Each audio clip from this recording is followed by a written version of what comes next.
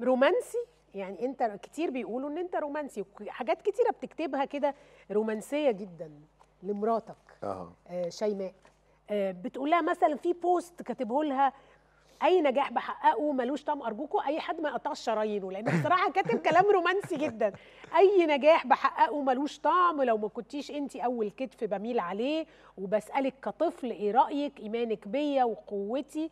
هو أساس كل خطوة باخدها خد باخدها. حضنك أساس تهوري. ما بخافش من الفشل عشان حضنك موجود. بدخل جوه حضنك وبنسى فشلي بنسى وجعي. وبنسى إخفاقي. إيه يا ابني؟ إيه يا ابني ده؟ طب شيماء معانا على التليفون يا شيماء. يعني مش عايزة الناس تقر عليكي مثلا بعد الشر. وبيكتب لك ده دلوقتي ده بيكتبوا على فيسبوك كده عشان الناس والمعجبات ولا بيكتبوا ولا بيقولوا بجد؟ آه لا يعني أعتقد هو بيقولوا بجد في لحظات تعتقدي؟ تعتقدي؟ بصي خلي بالك ده رجالك البيت.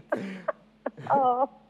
لا لا هو فعلا بصي دايما اياد يعني بتجيله كده بعد فترة الشغل الكتيرة والضغطة لأنه طبعا بيكون مش موجود خالص. فلما بيرجع وبيخلص كده عارفة يعني بيحس بقى إنه قد إيه يعني إحنا مفتقدينه وهو مفتقد البيت. فدايما يعني دايما بعد كل حاجة كبيرة بيجيله الإحساس ده فعلا يعني. بتحس إيه بالذنب يا اياد بحس بالذنب بيحس آه. بتحس بالذنب. بحس بالذنب. فيجيب لك هدية مثلا ولا يكتب لك على الفيسبوك. هو كل الموضوع بينتهي إنه بيكتب على الفيسبوك ولا على تويتر. دي تبقى قصة مش لطيفة يعني. لا لا لا. آه لا يعني هي مش فكرة هدية بس عارفة خلاص إنه بتكون الفترة عدت فبيحاول بقى يبتدي يرجع يلحق بقى الحاجات اللي فاتته وهو مشغول وكده يعني. أكتر إنه يبقى في quality time يعني في البيت معانا ومع الولاد ونسافر وكده. عشان هي بتبقى فترة طويلة وصعبة وبعدين بيحاول يعوض يعني. إيه أكتر يعني حاجة بتحبيها فيه. آه إيه أكتر حاجة بتحبيها فيه أكتر حاجة ما بتحبيهاش فيه؟ آه هو اياد في حاجة ما تتحبش. آه وبعدين بقى وبعدين. لا يعني ب- كل بني آدم فيه حاجات حلوة وحاجات وحشة. آه لا بصي هو اياد يعني أكتر حاجة بحبها فيه هو اولا هو كوميدي جدا. كوميدي؟ وكوميدي جدا جدا يعني يعني شخص مسلي جدا في البيت يعني مهما أحكي لك. آه. آه وهو طيب يعني عارفة اياد كده. يعني مثلا داخل شغل جديد بينكد عليكم مثلا هتشرب لي؟ أنا عايزة أشتغل عايزة أذاكر مش عارفة إيه لا. عليا الباب. حاجات كده؟ لا يعني مش بيقول كده بس مش بيقولها يعني بس هو طبعا بيبقى عارفة جوه أفكاره في البابل بتاعته يعني. في البابل آه، يعني كل شخصية بتطلع بشخ... بشكل يعني مش مفيش حاجة محددة بس آه، هو ما؟ بيقولش في آه إيه الشخصية بقى اللي عاشت معاكي في البيت شوية يا شيماء؟ آه. والله هو في كتير يعني. يعني سيد العجاتي مثلا عاش معانا. ده فترة إحنا كنا وقتها ما اتجوزناش لسه كنا مخطوبين. طبعا دي دمرت حياتنا تقريبا يعني. فعلا. سيد العجاتي. كان شخص مرعب مرعب مرعب يعني.